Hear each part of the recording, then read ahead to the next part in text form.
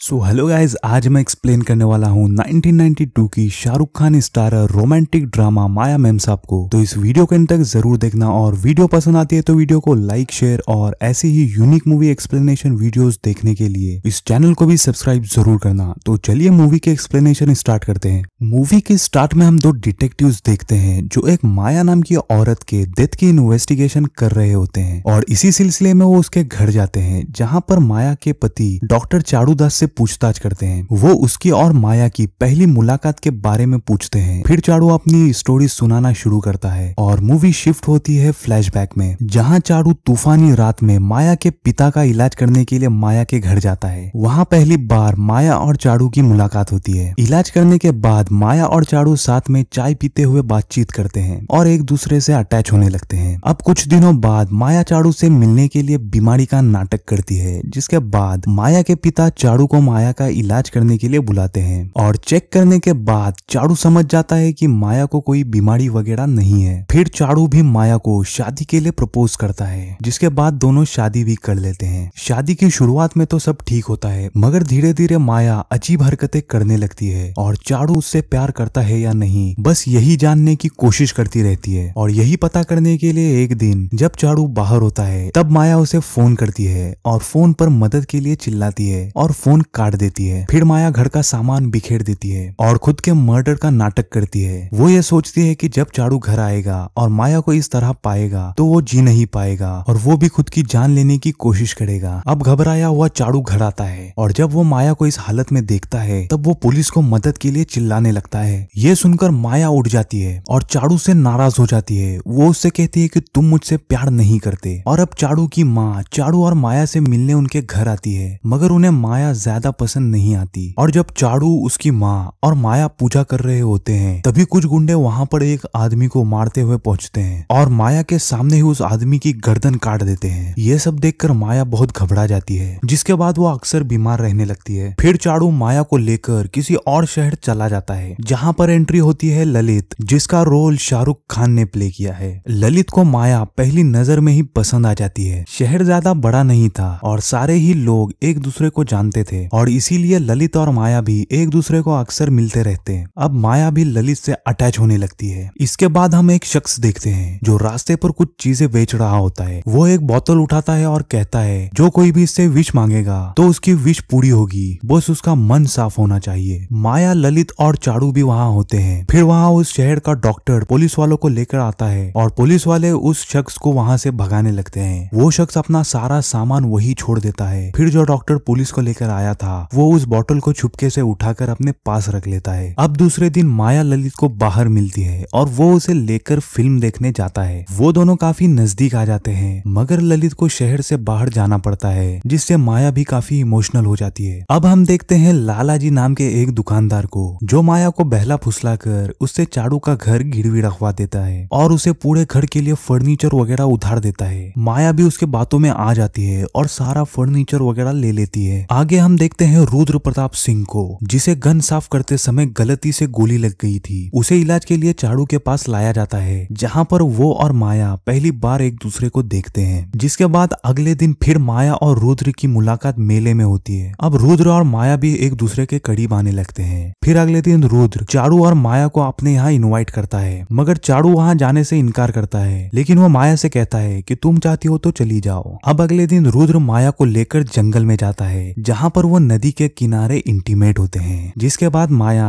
अक्सर रुद्र से मिलने लगी। इस वजह से वो घर में भी काफ़ी कम रहती थी। ये बात चारू की माँ को बिल्कुल पसंद नहीं आती और उन दोनों में अनबन भी हो जाती है। मगर इस सब के बावजूद भी माया रुद्र से मिलना बंद नहीं करती। अब माया और चारू थिएटर जाते हैं, जहाँ मूवी पूरी होने के बाद उन्हें ललित मिलता है। फिर ललित के साथ वो होटल में खाना खाने चले जाते हैं। होटल में ललित मौका देखकर माया का हाथ पकड़ लेता है और उससे अपने प्यार का इजहार करता है। ललित कहता है कि मैं अगली सुबह तुम्हारा इंतज़ार करूँगा। तुम्हें मेरे पास आना ही होगा। और अगले दिन वो माया का इंतज़ार करने लगता है। काफ़ी देर बाद माया आती है, मगर वो उसके साथ नहीं जाती। वो ललित को एक लेटर देकर वहाँ से चली जाती है। मगर फिर भी माया चारू से म्यूज़िक क्लासेस का बहाना बनाकर हफ़्ते में दो बार ललित से मिलने जाती है। लेकिन फिर चारू को पता चलता है कि उन क्लासेस में कोई माया को पहचानता भी नहीं है। तो वो ये बात माया को पूछता है, जिसके बाद माया को काफ़ी गुस्सा आता है और वो अपना आपा खो देती है। अब अगले दिन लाला जी माया से अपने पैसे मांगने आता है, मगर माया कहती है कि उसके पास पैसे नहीं है। लाला जी कहता है कि तुम्हें पैसे किसी भी हालत में देने ही होंगे। उसी रात माया एक पार्टी में जाती है, जहाँ ललित भी होता है। माया काफ़ी नशे में होती है, और वो पार्टी के बाद ललित के साथ उसके घर चली जाती है। फिर अगले दिन चारू माया को ढूंढता हुआ ललित के घर तक जाता है, जहाँ माया और ललित साथ में होते हैं। ललित माया के कहने पर चारू से झूठ बोलता है, जिसके बाद चारू भी वहाँ से चला जाता है। अब जब माया घर पहुँचती है, तब उसे पता चलता है कि लाला जी सारे घर के सामान की नीलामी करवाने वाला है, जिसके बाद माया लाला जी के पास जाती है और उसके डेढ़ लाख रुपए लौटाने के लिए और कुछ समय मांगती है। मगर लाला जी साफ़ इनकार कर देता है। माया काफ़ी परेशान हो जाती है और मदद मांगने एक शख्स के पास जाती है। मगर वो शख्स माया की मजबूरी का फ़ायदा उठाने की कोशिश करता है, लेकिन किसी तरह माया वहाँ से भाग जाती है। इसके बाद माया ललित से मदद मांगने जाती है, लेकिन ललित के पास इतने पैसे नहीं होते।